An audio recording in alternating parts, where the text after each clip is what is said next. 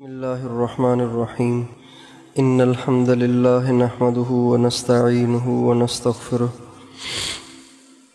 मन यहदिल्ला फ़ला मुदिल वमन युदलिल फ़ला हादी व अशहद अल्लाह वहदहु ला शरीक लह व अशहद अन्न सय्यदना व नबीना व हबीबना व शफ़ीना व क़ुर्रत अयुनना मुहम्मदन अब्दुहु व रसूलुहु सल्लल्लाहु तबारक व ताला अलैहि व अला आलिहि व अस्हाबिहि व अज़वाजिहि व ज़ुर्रियतिहि व बारक व सल्लम तस्लीमन कसीरा। अम्मा बाद फ़अऊज़ु बिल्लाहि मिनश शैतानिर रजीम। बिस्मिल्लाहिर रहमानिर रहीम। या अय्युहल्लज़ीना आमनू कुतिब अलैकुमुस सियाम। कमा कुतिब अलल लज़ीना मिन क़ब्लिकुम लअल्लकुम तत्तक़ून। वक़ाल नबी सल्लल्लाहु अलैहि वसल्लम मन साम रमज़ान ईमान वहतसाबन गुफ़िर मा तक़दम मिन ज़म्बिह सुबहान रब्बिक रब्बिल इज़्ज़ति अम्मा यसिफ़ून व सलामुन अलल मुरसलीन वल्हम्दुलिल्लाहि रब्बिल आलमीन अल्लाहुम्म सल्लि अला सय्यिदिना मुहम्मद व अला आलि सय्यिदिना मुहम्मदिन व बारिक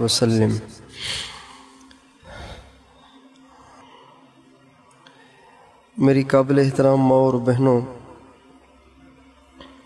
अल्लाह ताला ने, अल्लाह ताला बड़े करीम हैं, बड़े मेहरबान हैं। वो अपने बंदों को, अपनी बंदियों को कामयाब करना चाहते हैं। और अल्लाह ताला चूँकि अपने बंदों पर मेहरबान हैं और अपने बंदों को, अपने बंदों, अपनी बंदियों की दुनिया और आखरत बनाना चाहते हैं इसलिए अल्लाह ताला की तरफ़ से बंदों की और बंदियों की बख्शश के मुख्तलफ़ मौाक़े अल्लाह ताला बनाते रहते हैं।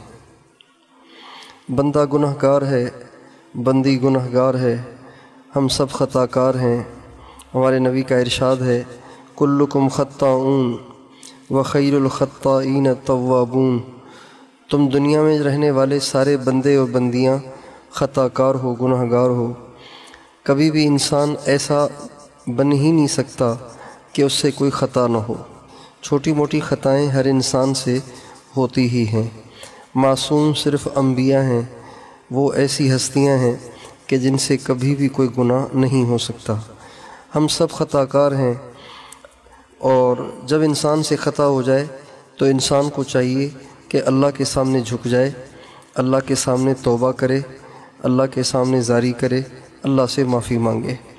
लेकिन बंदे इसमें गफलत बरतते हैं, लोग इसमें गफलत बरतते हैं, गुनाह भी करते हैं, माफ़ी भी नहीं मांगते, गलतियाँ भी करते हैं, अल्लाह के सामने जारी भी नहीं करते। अल्लाह ताला ऐसे बंदों पे दुनिया में परेशानियाँ भेजता है और वो परेशानियाँ उनके लिए कफ़ारा बन जाती हैं। बीमारी आ गई, उससे गुनाह माफ़ हो गए। कोई एक्सीडेंट हो गया तो इससे गुनाह माफ़ हो जाते हैं। कोई चोट लग गई, इससे गुनाह माफ़ हो जाते हैं। और कोई बदतमीज़ आदमी टकरा गया और उसने गालियाँ दी और उसने बुरा भला कहा और उसने दिल दुखाने वाली बातें की। ये मर्दों के साथ भी होता है, ये औरतों के साथ भी होता है। और इंसान ने उसकी गालियाँ सुन ली, उसकी कड़वी कसीली बातें बर्दाश्त कर लीं, इस पर गुनाह माफ़ हो जाते हैं। बच्चे बीमार हो जाते हैं, बच्चों को चोटें लग जाती हैं। बच्चे बात नहीं मानते हैं और दिल इससे दुखता है, परेशान होता है। ये सब चीज़ें इंसान की ख़ताओं का कफ़ारा हैं। इससे इंसान के गुनाह माफ़ होते हैं।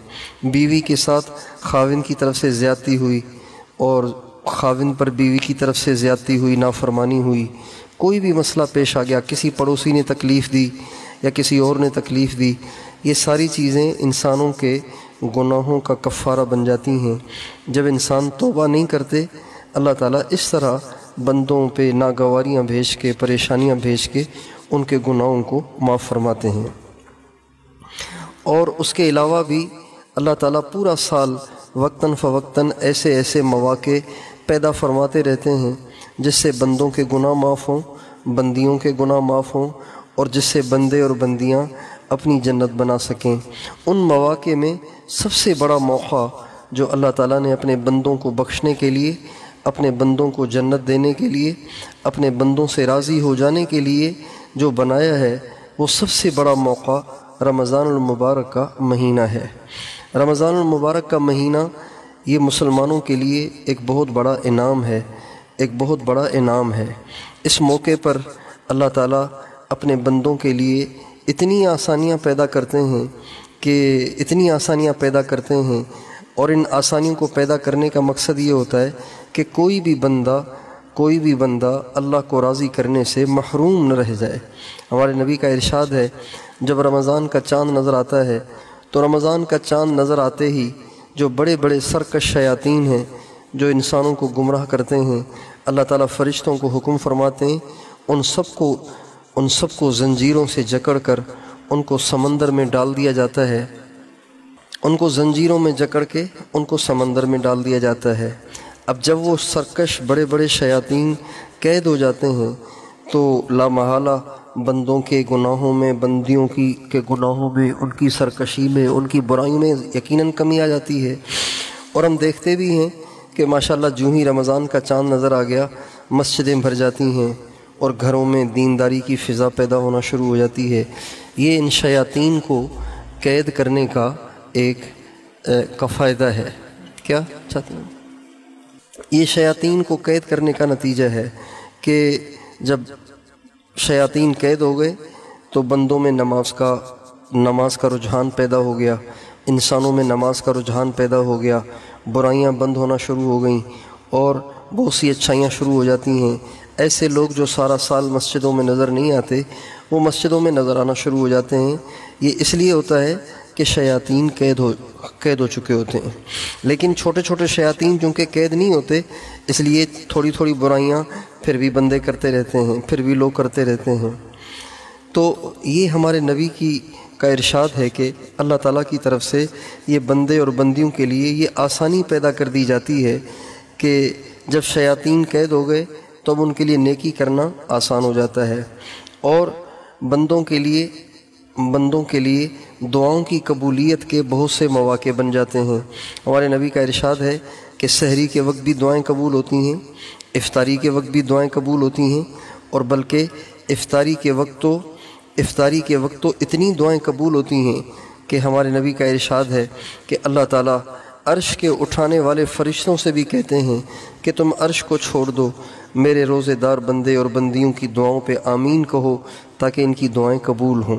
जब बंदे और बंदियाँ मगरब से पहले का टाइम होता है और उनके होंठ खुश्क होते हैं और उनका मुँह प्यास से खुश्क हो रहा होता है, उनका गला खुश्क हो रहा होता है, और सारा दिन, सारे दिन के भूखे, सारे दिन की भूखी, सारे दिन के प्यासे और सारी, सारे दिन की प्यासी, जब वो अपने हाथों को उठाए हुए अल्लाह से मांग रहे होते हैं, अल्लाह से मांग रही होती हैं अल्लाह पाक को इन पर बहुत प्यार आता है। और औरतों के लिए तो बहुत बड़ी कुर्बानी होती है। औरतों के लिए तो बहुत बड़ी कुर्बानी होती है कि औरतें मर्द तो बिछे बिछाए दस्तरखान पे आके बैठ जाते हैं, पके पकाए आके खाने खाते हैं, बने बनाए शरबत पीते हैं और कटे कटाए फल खाते हैं और इफ्तारियाँ करते हैं। लेकिन ये औरतें बेचारी अल्लाह ताला की इन पे रहमतें हों। ये औरतें बेचारी सारा दिन रोज़ा भी रखा होता है, सारे दिन की प्यास भी होती है और फिर गर्मियों का मौसम और ये किचन में होती हैं, रोटी पका रही हैं और ये तो बेचार मर्द तो मज़े से दस्तरखान पे आके चौकड़ी मार के बैठ गए और दुआएँ करने लग गए। लेकिन वो औरतें बेचारी अब भी किचन में हैं, कोई शामी कबाब बना रही है, कोई सालन पका रही है, कोई रोटी पका रही है, कोई फ्रूट काट रही है, कोई फ्रूट चाट बना रही है, कोई लस्सी बना रही है और फिर रोज़ा चूँकि सारे दिन के प्यासे, सारे दिन के भूखे मर्द, अब उनको गुस्सा भी चढ़ा हुआ होता है।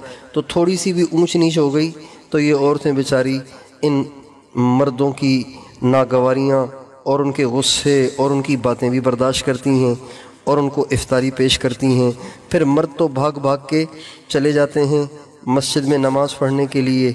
ये बेचारी फिर बर्तन समेटती हैं। फिर ये नमाज़ पढ़ती हैं, फिर इनको मर्दों को खाना देना होता है। तो मर्द तो चले जाते हैं तरावी पढ़ने के लिए, अब इनको बर्तन भी समेटने हैं, बर्तन भी धोने हैं और मर्दों की खिदमत का भी इंतज़ाम करना होता है। फिर शहरी के लिए, फिर इनको सबसे पहले उठना होता है, मर्दों को उठाना होता है। तो ये बहुत बड़ी कमाई है, बहुत बड़ी कमाई है। मर्दों के लिए कमाई इसलिए है कि मर्दों ने रोज़े रखने हैं और तरावी पढ़नी है। और इन दोनों कामों के करने से मर्दों की बख्शिश होती है और औरतों के ज़रिए से औरतों की कमाई इस तरह से होती है, औरतों की कमाई इस तरह से होती है, औरतों के लिए रमज़ान का महीना मर्दों से ज़्यादा कमाई का सीज़न होता है, मर्दों से ज़्यादा कमाई का सीज़न होता है। और मर्दों ने रोज़े रखने हैं अपने अपने, औरतों ने अपने भी रोज़े रखने हैं और औरों के रोज़ों का भी अजर कमाना है, चूँकि सहरी भी यही देंगी, इफ्तारी भी यही देंगी। तो औरतें औरतें रमज़ान में मर्दों से भी ज़्यादा कमाई करती हैं, लेकिन आम तौर से बेसब्री की वजह से और बर्दाश्त न होने की वजह से, बुरदबारी न होने की वजह से औरतें अपनी कमाइयाँ ज़ाया कर देती हैं। तो हम जितनी औरतें तशीफ़ फरमा हैं, इन तमाम औरतों से दरख्वास्त है, इस रमज़ान के महीने को हम कमाई का महीना बनाएँ। इस रमज़ान के महीने को हम कमाई का सीज़न बनाएँ। ख़ुद तो रोज़े रखें ही रखें अपने बच्चों को भी रखवाएँ, अपने मर्दों को भी रखवाएँ। आम तौर से ये जो नौजवान लड़के, लड़कियाँ हैं, इनमें रोज़ों का वो रुझान नहीं रहा जो किसी ज़माने में मर्दों में हुआ करता था, औरतों में हुआ करता था। ये नौजवान लड़के मोबाइल देख देख के और ये नौजवान लड़कियाँ मोबाइल देख देख के और उसमें बुराइयाँ देख देख के इतने इनके दिल बुझ गए हैं, इतने इनके ईमान कमज़ोर हो गए हैं कि अब ये रोज़ों का मज़ाक उड़ाते हैं अब ये रोज़े को अहमियत नहीं देते। हालाँकि हमारे नबी का इरशाद है, जिसने रमज़ान का एक रोज़ा छोड़ दिया, सारी ज़िंदगी भी अगर वो रोज़े रखे तो रमज़ान के उस एक रोज़े की तलाफ़ी नहीं हो सकती। लेकिन चूँकि दिल में ईमान ही नहीं रहा, ईमान कमज़ोर हो गए बुराइयाँ देख देख कर और बुराइयाँ कर कर के दिल की शमा बुझ चुकी है और दिल की शमा दिल की शमा धीमी पड़ गई है इसलिए रमज़ान के रोज़े की वो अहमियत नहीं रही जो कभी हुआ करती थी। हालाँकि रमज़ान का रोज़ा बुनियादी फ़र्ज़ है। हमारे नबी का इरशाद है, इस्लाम की बुनियाद पाँच चीज़ों पर है। इस्लाम की बुनियाद पाँच चीज़ों पर है। सबसे पहले कलमा और दूसरा नंबर नमाज़, तीसरे नंबर पर रोज़ा, चौथे नंबर पर ज़क़़त और पाँचवें नंबर पे बैतुल्ला का हज है। तो ये रमज़ान के रोज़े इतने ज़रूरी हैं, इतने ज़रूरी हैं, इतने ज़रूरी हैं जैसे नमाज़ ज़रूरी है। पाँच वक्त नमाज़ पढ़ना जैसे ज़रूरी है और नमाज़ से बिल्कुल छुटकारा नहीं है। ऐसे ही रमज़ान के रोज़े रखना भी मर्दों, औरतों के लिए ज़रूरी है। आप देखें नमाज़ औरतों को मखसूस अयाम में, जिन अयाम में औरतें नापाक हो जाती हैं, उन अयाम में उनसे नमाजें माफ़ हो जाती हैं और उन नमाज़ों की कज़ा भी नहीं है। लेकिन रमज़ान के महीने में अगर वो नापाक हो जाएँ अगर वो उनके मखसूस अयाम आ जाएँ तो वो रोज़े उनसे माफ़ नहीं हैं। उनको रोज़े वो कज़ा रखने होंगे। वो रोज़े उनको रखने होंगे। वो रोज़े उनसे माफ़ नहीं होंगे। वो रोज़े उनसे माफ़ नहीं होंगे। इतने ज़रूरी हैं रमज़ान के रोज़े। इतने ज़रूरी हैं रमज़ान के रोज़े। तो इसलिए हम अपने घरों में, ये औरतें अपने घरों में रमज़ान के रोज़े का माहौल बनाएँ। अपने घर के किचन को ताला लगा दें। ताकि सबको पता हो कि हमारे घर में रमज़ान का महीना है।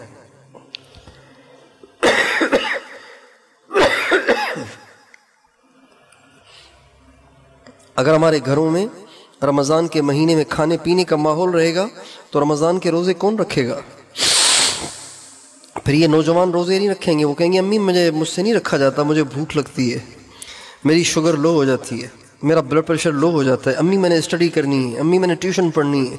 अम्मी, मैंने कॉलेज जाना है। अम्मी, मैंने ये करना है, वो करना है। मैंने दुकान पे जाना है।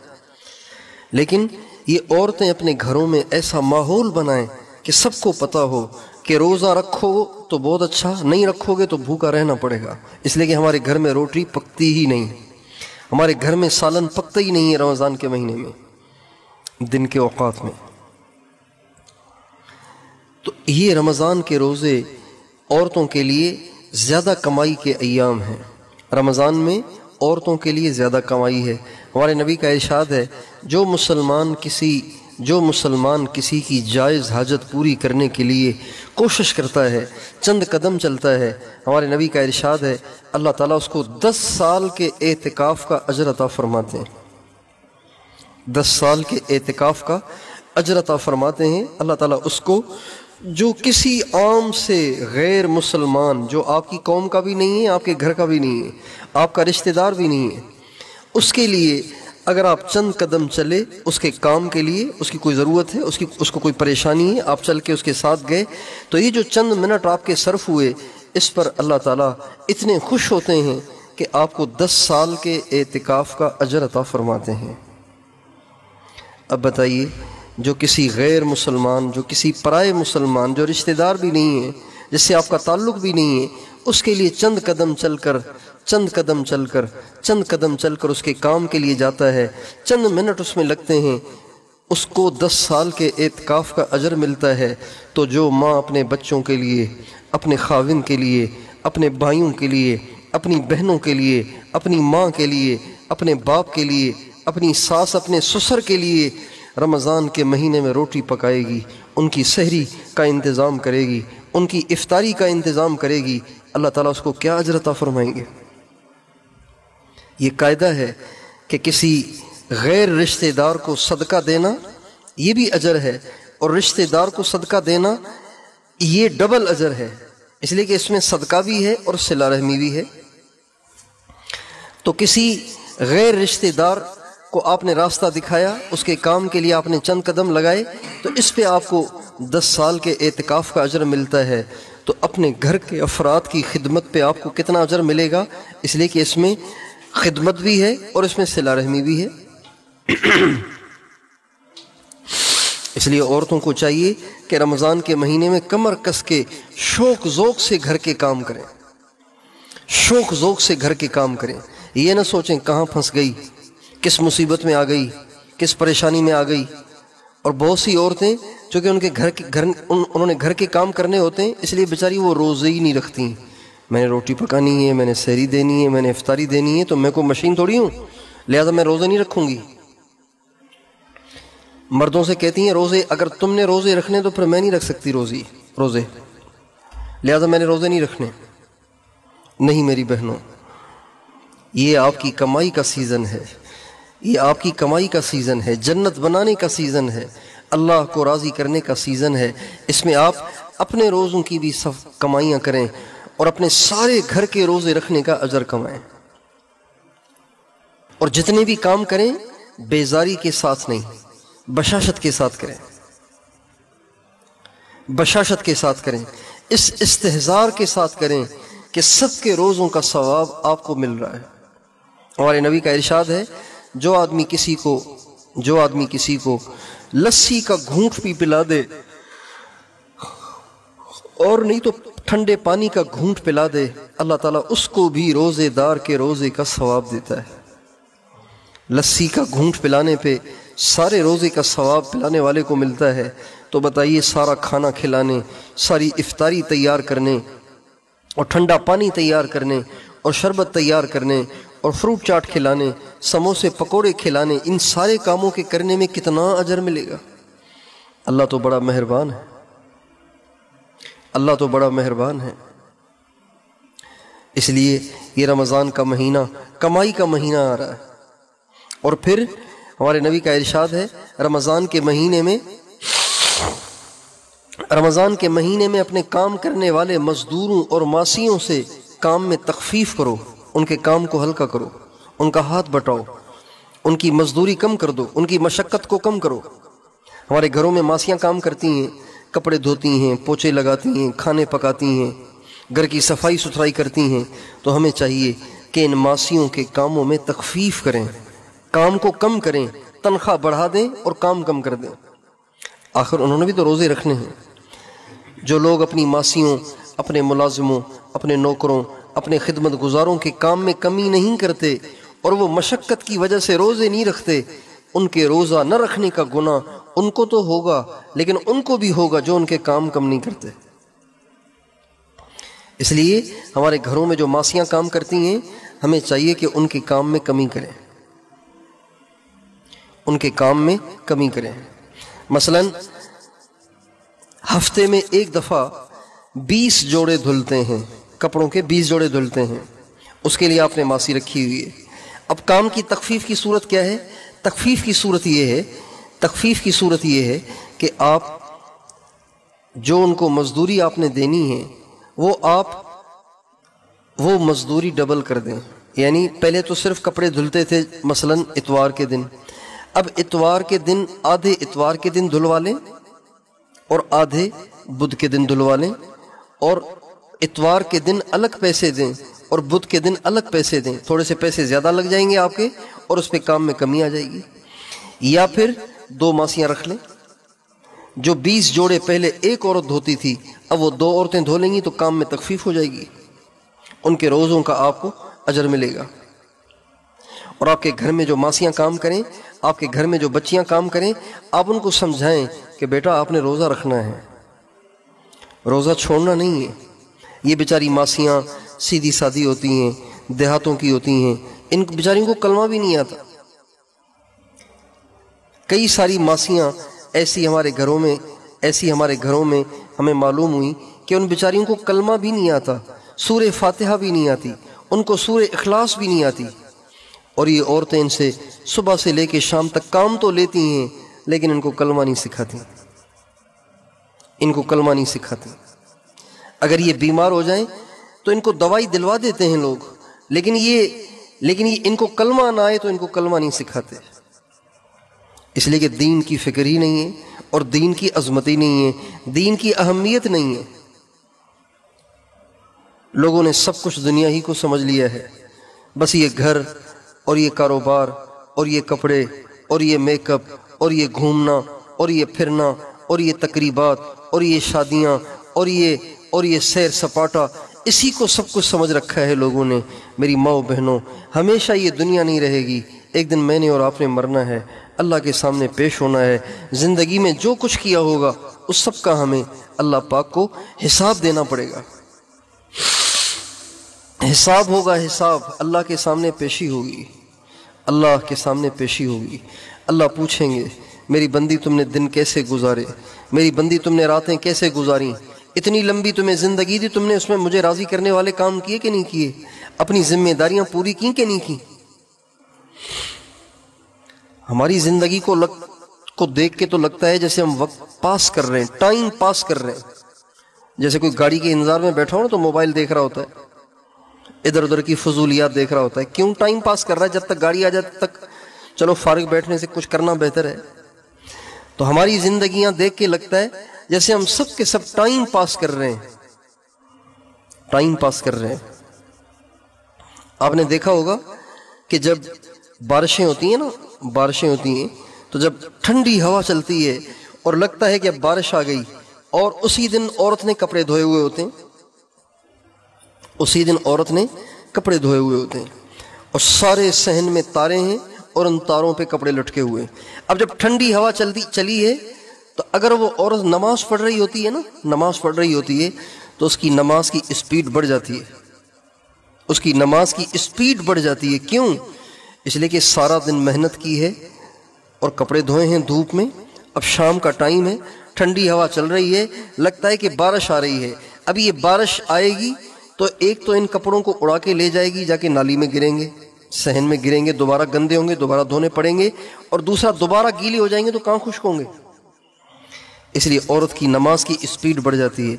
अच्छा जब सलाम फेरती है तो सबसे पहले भाग के पहले वो कपड़े उतारती है। तो जिस तरह दुकानदार बारिश होने पर अपनी दुकान का सामान जल्दी जल्दी अंदर कर रहा होता है, औरतें सुखाए हुए कपड़े जल्दी जल्दी अंदर कर रही होती हैं मेरी माओ बहनों, ये एक मोमिन की ज़िंदगी है। मोमिन ने तो मरने से पहले पहले ये करना है। मोमिन के सामने तो मोमिन की निगाहों के सामने तो हर वक्त मौत रहती है। हर वक्त मौत रहती है। हर वक्त क्यामत रहती है। अभी मौत आई, जल्दी कुछ कर लूँ, जल्दी कुछ कर लूँ, और अल्लाह को राज़ी कर लूँ, और अल्लाह को राज़ी कर लूँ। हमारी ज़िंदगी से तो ऐसे लग रहा है जैसे हम टाइम पास कर रहे हैं। हम मरने की तैयारी नहीं कर रहे। हम आखरत की तैयारी नहीं कर रहे। हम अल्लाह पाक को राज़ी नहीं कर रहे। जिस काम के लिए अल्लाह ने हमें भेजा है, जिस मकसद के लिए अल्लाह ने हमें भेजा है, हम वो नहीं कर रहे।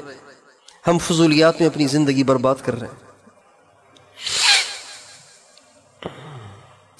पहले औरतों का टाइम ज़ाया होता था गप्पों में, गपशप में। दो चार औरतें आ गई महल्ले की और बस बैठ बैठ गई हैं गप्पे लगाने के लिए। हमारे हाला में पहले माहौल होता था। असर की नमाज़ के बाद औरतों ने निकल जाना होता था। असर की नमाज़ पढ़ी और सब औरतें बुरका सर पे और वो इधर जा रही है, वो उधर जा रही है। कोई किसी के घर, कोई किसी के घर। ये हमारे यहाँ आम माहौल था। अब ये जो मोबाइल आया है, इस मोबाइल ने इतना मशगूल कर दिया है, इतना मशगूल कर दिया है कि अक्सर लोगों का, मर्दों, औरतों का बहुत सा टाइम इस मोबाइल पे बर्बाद होता है। रिश्ते, नाते ख़त्म हो गए, ताल्लुकात ख़त्म हो गए, खून सफ़ेद हो गया है। और मोबाइल ने रिश्तेदारों का भी टाइम ले लिया, मोबाइल ने बीवी से खाविन का टाइम ले लिया, खाविन से बीवी का टाइम ले लिया माँ बाप से बच्चों का टाइम ले लिया, बच्चों से माँ बाप का टाइम ले लिया, मोबाइल ने रिश्तेदारों का टाइम ले लिया, मोबाइल ने कुरान का टाइम ले लिया, मोबाइल ने नमाज़ का टाइम ले लिया मोबाइल ने तस्वीर का टाइम टाइम ले लिया। मोबाइल ने ज़िक्र इबादत का टाइम ले लिया। मोबाइल ने आखरत की तैयारी का टाइम ले लिया। सारा टाइम मोबाइल ने ले लिया। और मोबाइल ने हमारी नींदें उड़ा दी हैं। लोग जल्दी सोते थे, अब जल्दी नहीं सोते। शरीफ शरीफ लोग भी जल्दी नहीं सोते। जब तक मोबाइल पे अपनी ज़िंदगी बर्बाद न करें, अपना ईमान ख़राब न करें, और जब तक मोबाइल पर अपनी रात आधी रात को बर्बाद न करें, तब तक उनको नींद ही नहीं आती।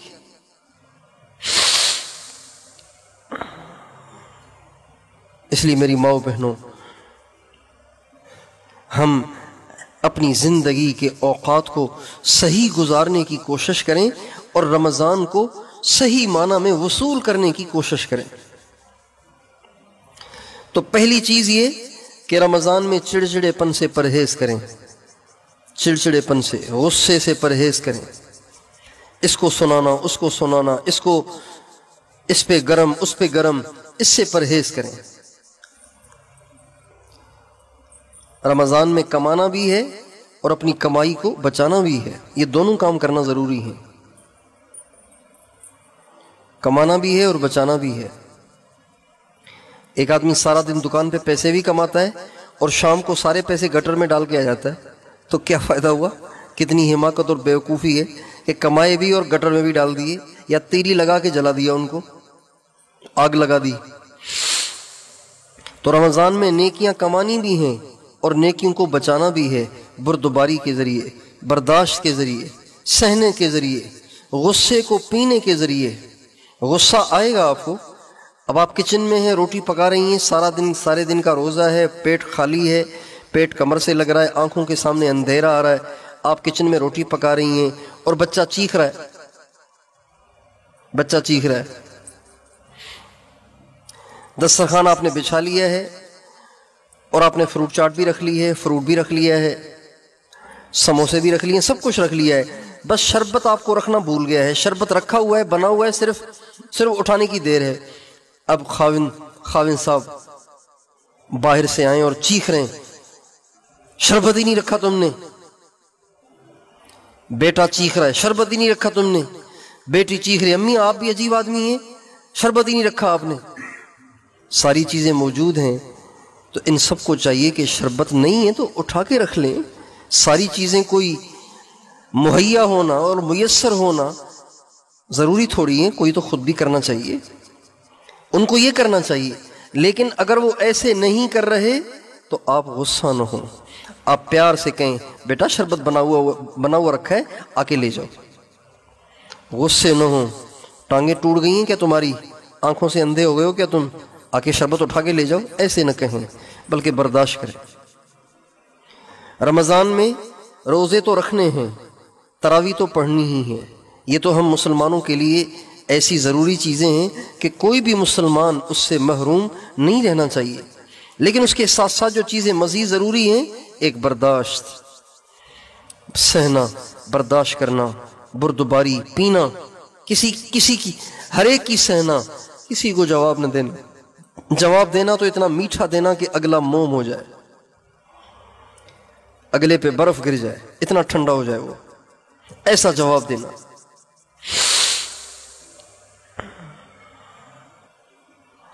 बुरदबारी और बर्दाश्त। और ज़्यादा से ज़्यादा औकात, अपने औकात को तकसीम करना। और औरतों को चाहिए कि औकात को तकसीम करें। इसलिए कि इनके काम ज़्यादा हैं, इनके काम ज़्यादा हैं। इन्होंने सहरी करनी भी है, इन्होंने सहरी तैयार भी करनी है, फिर करनी भी है, करानी भी है, और फिर सामान भी समेटना है। ये चार काम करने इन्होंने सहरी में। सहरी तैयार करना सहरी करना सहरी कराना, और सहरी का सामान समेटना। फिर इफ्तारी तैयार करना, इफ्तारी कराना, इफ्तारी करना, इफ्तारी का सामान समेटना। ये चार काम इन्होंने सहरी में करने, चार काम इन्होंने इफ्तारी में करने हैं। अब अगर ये अपने औकात को तकसीम नहीं करेंगी ना तो ये सारा दिन बर्तनों के हवाले रहेंगी, ना कुरान पढ़ सकेंगी, ना ज़िक्र कर सकेंगी, ना इबादत कर सकेंगी। इसलिए औरतों को चाहिए कि अपने औकात को सही तरीके से तकसीम करें कि किस वक्त मैंने कुरान पढ़ना है, किस वक्त मैंने खाना पकाना है, किस वक्त मैंने क्या काम करना है? अपने औकात को तकसीम करें। और आम तौर से औरतें अपना निज़ाम औकात, अपना शेड्यूल न बनाने की वजह से सही तरीके से सहरी नहीं कर पाती। औरों को कराते कराते खुद बेचारी एक लुकमा ले लिया और पानी का घूंट पी लिया। ये उनके साथ जुल्म है। और ये उनकी अपनी उनकी अपनी बेतरतीबी का नतीजा है। अगर वो पूरे निज़ाम के साथ अपना सारा शेड्यूल बनाए तो कभी भी ऐसे ना हो। जब आप बच्चों को अपने घर के अफराद को उठाएँगी ही तरावी, उठाएँगी ही शहरी का ख़त्म होने से 20 मिनट पहले तो जारी बात है फिर शहरी वही करेंगे, आप तो नहीं कर पाएँगी। इसलिए अपने घर वालों का, अपने मर्दों का, बच्चों का सबका जहन बनाएँ कि भाई हमने टाइम ख़त्म होने से एक घंटा पहले मैंने सबको उठा देना है, पौन घंटा पहले सबको उठा देना है। और अगर वो ताखीर कर रहे हैं तो आपको चाहिए कि आप सहरी कर लें। आप पहले सहरी कर लें। अगर वो नहीं उठ रहे, आप पहले सहरी कर लें। ताकि जब आखिरी औकात में उनको सहरी करानी हो तो आप सहरी से रह न जाएँ। अगर आप सहरी से रह जाएँगी, आपका सारा दिन खराब हो जाएगा।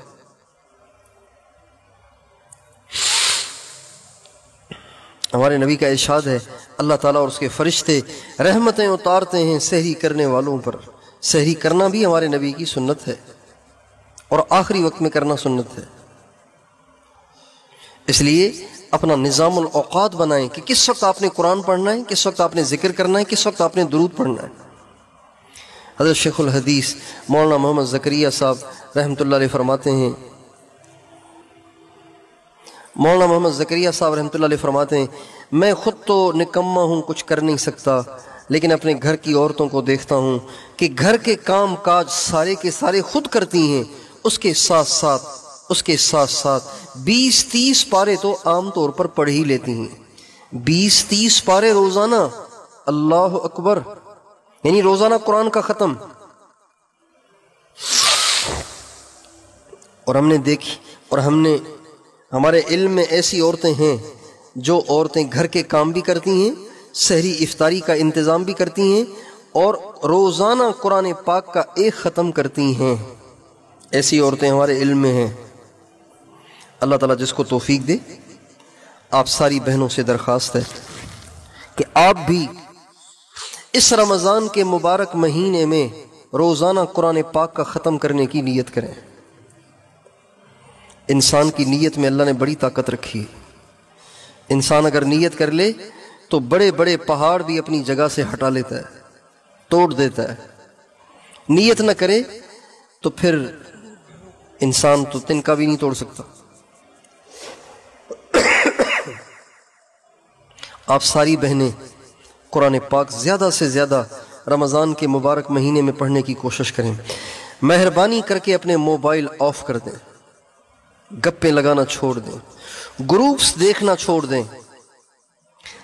ये लड़कियों ने जो ग्रुप बनाए हुए हैं ना, औरतों ने ग्रुप बनाए हुए हैं। Family group favourite group friends group पता नहीं क्या क्या फजूलियात। जिसको जो मिल, जिसके पास जो चीज़ आ जाती है, वो उस ग्रुप में डाल देते हैं। अब उस ग्रुप में अगर सौ औरतें हैं, सौ लड़कियाँ हैं, और उनमें से एक एक अगर तीन तीन भेजे तो ये कितनी पोस्टें हो गई? तीन सौ पोस्टें हो गई तो तीन सौ पोस्टों में से हर पोस्ट को देखने के लिए अगर एक मिनट भी लगाएँ तो तीन सौ मिनट चाहिए। कितना टाइम ज़ाया होगा? जितने फजूल ग्रुप्स बने हुए हैं फ्रेंड्स फैमिलीज़ और ये और वो, उन सबसे रमज़ान के महीने में या तो लेफ़्ट हो जाएँ, या फिर उनको आरचीट कर दें। आरचीट कर दें। जो मोबाइल चलाने वाली हैं, वो समझती हैं। देखना छोड़ दें। रमज़ान के महीने में बिल्कुल न देखें। रमज़ान के महीने में आप हो और अल्लाह हो। खाना पकाया और फिर कुरान लेके बैठ जाएँ। सहरी बनाई और कुरान लेके बैठ जाएँ। किसी से बात भी ना करें। जबान पे भी ताला लगा दें। इमाम अबू हनीफा रहमत रोज़ाना दिन में अलग कुरान ख़त्म करते थे। रात को अलग कुरान ख़त्म करते थे। रमज़ान का महीना ख़त्म होता तो आप इकसठ कुरान ख़त्म कर लिया करते थे। तीस दिन को तीस रात को एक तरावी में इकसठ कुरान ख़त्म करते थे तो अब देखते हैं कि आप में से कौन कितने ज़्यादा ख़त्म करता है इसमें मुकाबला करें अल्लाह ताला फरमाते हैं सारे इला मगफिरतिम रब्बिकुम व जन्नह अर्दुहा समावात वल अर्द उइद्दत लिल मुत्तकीन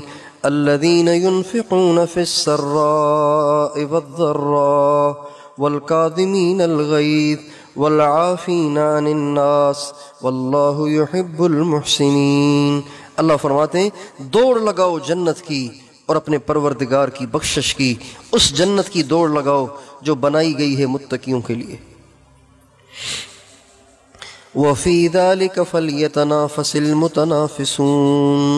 अल्लाह फरमाते हैं अगर तुम्हें मुकाबला करना है तो इसमें मुकाबला करो दुनिया में ना करो कि मेरे कपड़े अच्छे ज़्यादा हैं, मेरा सैंडल अच्छा है, मेरा पाजेब अच्छा है, और मेरा, मेरी चूड़ियाँ अच्छी हैं, मेरी बालियाँ अच्छी हैं, मेरा मेकअप अच्छा है, मेरे बाल अच्छे हैं, इसमें मुकाबला मत करो। ये तो वैसे ही कीड़ों की खुराक बन जाना है। दुनिया की हसीन से हसीन औरत ने आखिर मरना है, और मर के जब उसने कब्र में जाना है तो फिर किसके बाल सिल्की हैं, किसके बाल किसके बाल सिल्की हैं? और किसके बाल खुश्क हैं और किसके बाल लंबे हैं और किसके बाल छोटे हैं और किसके गाल चिपके हुए हैं, किसके बाल उभरे हुए हैं और किसके होंठ गुलाबी हैं, किसके होंठ काले हैं, इसका क्या, ये तो सब एक ही हो जाता है। कीड़ों की खुराक बन जाता है।